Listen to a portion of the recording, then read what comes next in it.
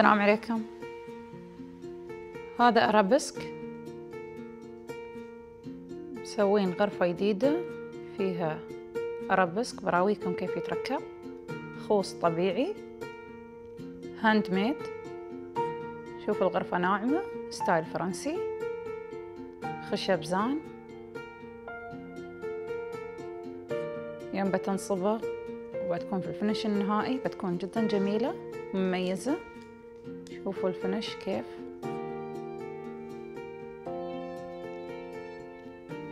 هالفريم وبروزة بروز النكشة اللي فيها.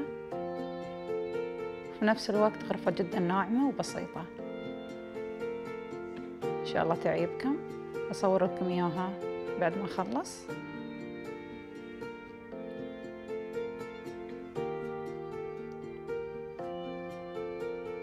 شوف الحفرات تفاصيلها لفاتها.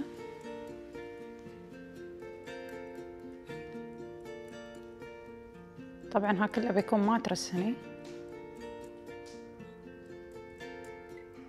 وهي ميزتها إنها بتكون عالية عن الأرض. ارتفاعها أعلى عن الارتفاع العادي. وأتمنى أسمع آرائكم واقتراحاتكم وأي تغيير أنا جاهزة له إن شاء الله. يعطيكم العافية ما قصرتوا.